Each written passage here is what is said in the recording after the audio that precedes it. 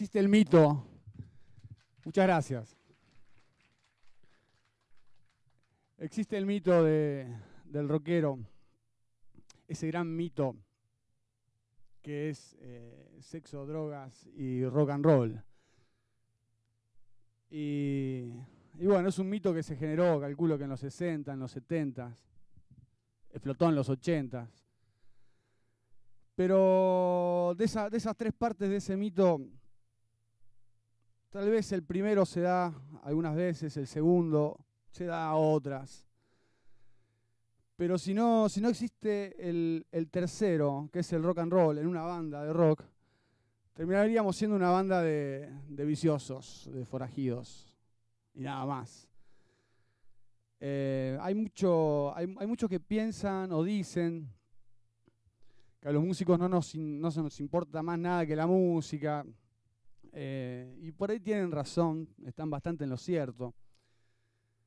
Pero también tenemos tenemos que levantarnos al otro día del show, tenemos que salir a la calle, ir al súper, ir a comprar el pan, ir a pagar los impuestos, el API. Y, esa es la parte que, nos, que nos vuelve a la tierra, ¿no? O sea, y, es, es la mayor parte del tiempo. La parte del trabajo, la parte del día a día. Hay una parte que es mágica, que es la más linda para nosotros, que cuando estamos arriba de un escenario haciendo lo que queremos hacer, lo que nos gusta y lo que nos hace felices. Pero después tenemos las mismas historias que, que, un médico, un fletero, un abogado, es más o menos siempre lo mismo. Em, estamos en la búsqueda todo el tiempo del tiempo, de tener tiempo. Por ahí capaz que no nos interesa tanto tener eh, o meternos en la, compulsividad de la compra, de tener un home theater, un smartphone, un cero kilómetro, porque necesitamos tiempo, necesitamos un poco de tiempo y todo el que necesitemos para poder tocar, escuchar y componer música. ¿Qué es lo que a nosotros nos hace bien, lo que nos hace felices, lo que nos mantiene vivos? Y entonces ahí viene, empezamos a buscar la forma y ahí viene una, mm, es una frase, el nombre de, una fórmula que se llama el camino del héroe. El camino del héroe es, eh, es esa fórmula que, existe en los guiones de películas, que son, eran como 20 pasos, ahora lo, redujeron a 5 pasos. Es, es la fórmula para hacer una película taquillera. Es una fórmula para hacer una película fácil también eso, el primer paso empieza con, una calma, una calma neutra. Después viene un, golpe duro y fuertísimo para el protagonista, que después se tiene que levantar y salir con, toda la fuerza a, reivindicarse y salir cabalgando en un estribillo demoledor, como en el caso de la música, que también existe esa fórmula para hacer las canciones. Entonces nosotros tratamos de aprender esa fórmula. la venimos escuchando desde hace muchísimo tiempo. En mi caso, desde que escucho eh, los Beatles o, los Rolling Stones. Eh, esa fórmula que es eh, la, estrofa A, B y estribillo. Entonces, esa fórmula la aprendemos. ¿Y la aprendemos para qué? Para poder romperla después. Para poder romperla y poder generar algo nuevo de ahí. Algo más original. Y tratamos todo el tiempo de sentirnos únicos, porque eso te hace fuerte y te genera, te genera la, fuerza como para salir a, mostrar lo tuyo con, poder, con dignidad y con cierta soltura después arriba del escenario, ¿no? Es como creérsela un poquito, ¿no? Arriba del escenario, ahora estoy muy nervioso, ¿no? Porque nunca hablé tanto, pero eh, cuando, cuando canto ahí se me genera una paz y es como que me agranda un poquito. Y para componer eh, nos nutrimos desde que somos chicos de las influencias de música. Esa música que escuchamos en la radio, la escuchamos eh, en los boliches, en los bares, en los amigos, en la casa de los amigos, la familia. Y esas influencias nos van nutriendo y a la hora de componer, a la hora de componer un tema, dejamos que se filtren esas influencias. Tratando siempre de mantener un equilibrio, ¿no? Porque si no, eh, si copiamos directamente un tema ya es un plagio y nadie te, va, nadie te va a dar bola, aunque ha sucedido y estuvo todo bien. Pero tratamos de generar algo nuevo todo el tiempo. ¿eh? Es muy difícil eh, mantener el equilibrio entre esas influencias y lo que uno hace. ¿eh? Todo el tiempo estamos haciendo temas, uh, no, esto me suena tal, no, esto me suena fito, no, este me suena tal. Entonces vas buscando, buscando, buscando hasta que encontrás algo, algo más propio, algo más original, algo más tuyo. Mis influencias personales, por ejemplo, eh, bueno, siempre me gustó el rock. Y de chico en mi casa, yo soy el más chico de cuatro hermanos y bueno, había discos, había casetes, había, mm, había videos para virar, así que estuve bastante, bastante influenciado por la música que escuchaban mis hermanos. En el caso de mi hermano, eh, escuchaba, escuchaba los Beatles, escuchaba Queen, escuchaba Phil Collins, qué sé yo. Mis hermanas por ahí escuchaban más a, Fito Páez, a, Sabina, que estaba bastante cerca del rock. Em, y bueno, mi vieja, mi vieja escuchaba Elvis Presley, mi vieja escuchaba los chalchaleros, eh, escuchaba a Juan Manuel Serrat. Así que tuve un montón, bastante, bastante variado las influencias que tuve desde chico. Y eso me ayudó mucho a la hora de, a la hora de componer canciones y, de buscar canciones para tocar también. ser un poco más ecléctico me sirvió mucho para, para sobrevivir un poco eh, en la música. Em, yo personalmente me, me, me enganché mucho con, con bandas inglesas, Led Zeppelin, Deep Purple, Queen, y con bandas de acá como Papo, Luis Alberto Spinetta, Charlie García, David Lebón, eran más o menos lo que yo más escuchaba. Pero como yo soy un cantante que no, no toco, hoy voy a tocar, pero por lo general yo no toco en el escenario, tengo el micrófono en la mano. Y siempre me gustó la magia de, la magia de los cantantes, la magia de esos cantantes que parecían superhéroes, eh, como Mick Jagger o Freddie Mercury. Freddie Mercury cuando lo vi, digo, ¿quién es el Capitán América en el escenario cantando increíblemente? Este, y y flashé, muchísimo con él y, siempre lo, tomé como un referente, con de cantante increíble, de compositor, de letrista, unas letras hermosas, siempre me gustaron. Y una, magia, una magia y un poder impresionante arriba del escenario. Y se hacía querer mucho también. Yo creo que a Freddy eh, lo quería, la gente lo quería mucho. Eh, era muy honesto, era, era una persona maravillosa. Ahora, si ustedes me dejan, eh, yo les voy a, yo voy a ir nombrando algunas influencias mías y voy a ir tocando alguna canción de alguna de ellas.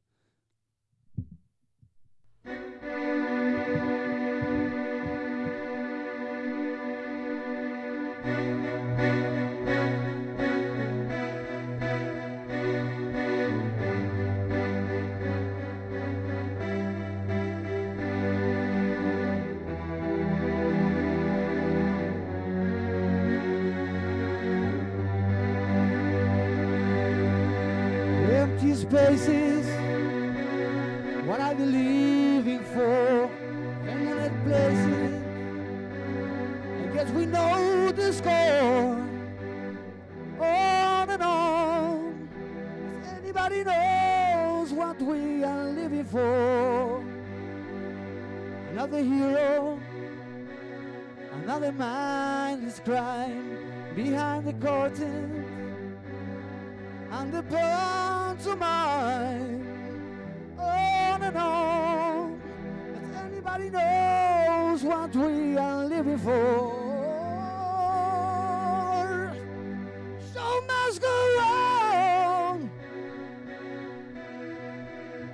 Show must go on.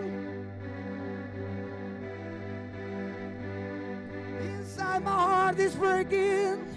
My makeup make me fail, but my smile still stays on.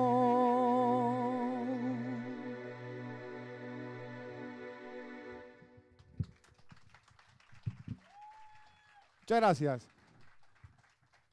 También están las influencias de acá de la ciudad de Rosario. Eh, acá en Rosario hay un montón de músicos, de bandas increíbles, impresionantes.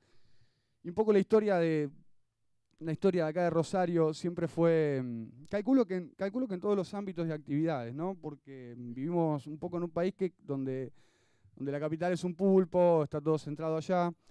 Y en el caso del arte, de la música, más precisamente, eh, vivimos en un lugar donde no, existe la industria. La industria de la música eh, no, existe, no hay sellos discográficos, no, eh, discográficas en su totalidad de la palabra, ¿no? que, hacen un producto y lo, y lo, y, lo, ponen en los medios y hacen que eso reviente, pa, pa, pa. Acá eso no existe, así que son muy contadas los artistas y bandas que han podido romper con ese cascarón del interior, ¿no? Y mm, entonces para la mayoría de los músicos y las bandas es bastante, es bastante, bastante duro, bastante difícil el camino. Y hay muchísimos artistas increíbles. Y lo bueno de eso es que los artistas acá, sin tener, eh, sin tener tan cerquita esa, esa industria, eso, ah, está ahí, pará, entonces si está ahí yo voy a hacer esto porque no, lo tenemos cerca, ni, ni siquiera conocemos ni tenemos contacto con, discográficas y, los sponsors de la música como existe en Buenos Aires. Así que hay muchísimo amor, hay muchísimo amor y muchísimo esfuerzo en Rosario. En Rosario como en cualquier ciudad del interior. También lo existe en Buenos Aires, no, no, lo quiero, no lo quiero dejar afuera, porque todos la luchan, pero al estar lejos es mucho más difícil, ni siquiera sabemos dónde queda, dónde queda cuál es la dirección de una discográfica, como para ir y alcanzar un, CD. Entonces es muy rescatable, es muy rescatable el esfuerzo y el talento de los músicos de acá de Rosario. Como yo dije que era bastante, bastante ecléctico, perdón, que era bastante ecléctico y que escuché de todo. Eh, hay un músico de la trova rosarina.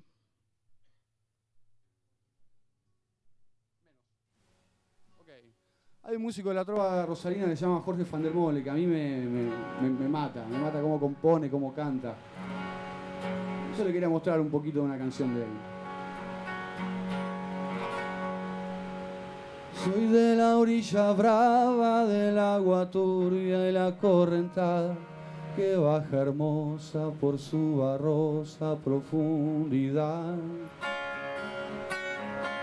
Soy un paisano serio, soy gente del remanso valerio, que son del cielo, remonta vuelo en el Paraná. Soy del color del río y su misma voz en mi canto sigo, el agua mansa y su suave danza en el corazón. Pero a veces oscura, va turbulenta en la ciega hondura y se hace brillo en este cuchillo de pescador.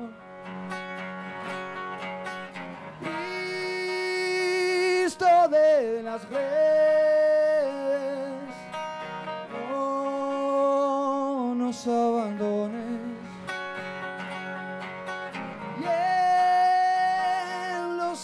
espineles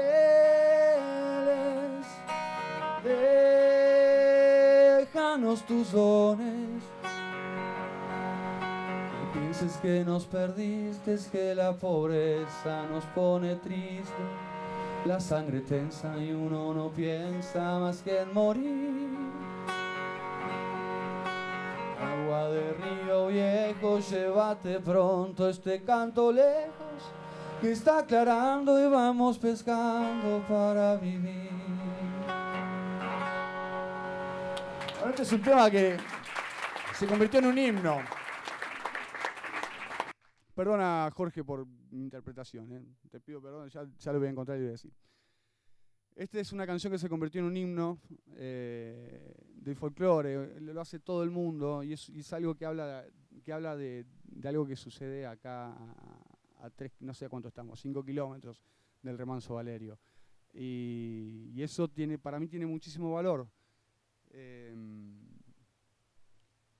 bueno, me dijeron que no diga bueno y dije bueno. Estuve todo el tiempo pensando en eso. Hay una, hay una historia, mi historia personal con el encuentro con, el instrumento y con la música que, mm, que yo se los voy a contar. Yo tenía, creo que tenía 10 años y estábamos en, en Miramar con mi familia, con mis viejos. Como yo era el más chico, todos mis hermanos, no sé, estaban por ahí. Yo estaba en, un departamento con mis dos viejos. Eh, un día de lluvia, otro día de lluvia. Y ya no sabían qué hacer conmigo. Y dije mi viejo, bueno, vení, vamos a dar una vuelta, vamos al centro. Había poco y nada en el centro de Miramar en esa época. Eh, y pasamos por un negocio donde había de todo, vendían de todo, cosas chinas, así. Y mi viejo de una armónica. Me dice, vení, vení, vení, vamos adentro, me Entramos al local, pregunta, yo veía, miraba a mi viejo que hablaba con el Kia ahí, en el mostrador, agarra la armónica y nos vamos. Nos volvemos para el departamento, dice mi viejo, bueno, te voy a enseñar a tocar, te voy a enseñar a tocar la armónica, me dice. Bueno, bueno, digo. Este, mi atención era muy, muy volátil en ese momento, así que ahí nomás peló, empezó a tocar algo y yo me quedé así, wow, mi viejo toca la armónica, grosísimo. Eh, y bueno, me empezó, me empezó a enseñar y, no pasaron dos o tres días que más o menos le enganché la vuelta, porque soy muy orejero, nunca estudié, nunca estudié ningún instrumento. Lo toco un poquito y, bueno, tengo un poco de oreja y voy, copiando lo que hacen los demás y buscando el sonido. Entonces a los dos o tres días ya empecé a, sacar algunos tonos en la armónica. Y después pasó el tiempo, volví, volvimos de vacaciones, obvio, y, la, señora que trabajaba en mi casa eh, me, escucha tocar la armónica, qué sé yo, y ella hacía una peña folclórica y me invitó a, tocar. Y yo dije, sí. Eh, y me subieron a un escenario, en un club, un montón de gente, yo no entendía nada y me puse a tocar la que toqué hoy, que no la tocaba desde esa época más o menos.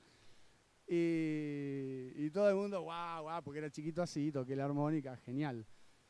Eh, cuando pasaron los años, eh, en el colegio me encuentro con, empiezo a encontrar con amigos que estaban tocando, uno tocaba el bajo, otro la viola, qué sé yo. Ah, yo toco la armónica, dije. Este, y formamos una bandita ahí que se llamó Dos Pueblos, que eran chicos de Fisherton y yo soy de Roldán, yo fui a la escuela en Roldán y, los desertores de la Estela Mari caían al, Paul Harris de Roldán y ahí había un par de un par que hacían música y nos juntamos a tocar. Eh, y desde ese, bueno, ese fue, esa, esa, fue la entrada. La armónica fue la entrada, fue la, llavecita que, me hizo entrar en la música y empezar a ser músico. Em, y después, bueno, de esa banda el cantante desapareció, dijo no canto más, y yo dije, yo canto, yo canto. Y ahí es como que arranqué. Y, todo fue por ese día, no sé si hubiese sido de otra manera, después más, más adelante o no, el destino, esas cosas, qué sé yo, no lo sé. Pero ese día en Miramar, eh, mi viejo me compró la armónica porque, yo estaba, no sabían qué hacer conmigo, estaba re hincha bola, y y aprendí a tocar un poquito la armónica y esa fue la llave. Y, hay una moraleja en esto, sí, sí existe, no sé si existe o no, pero un amigo me la, me la tiró también.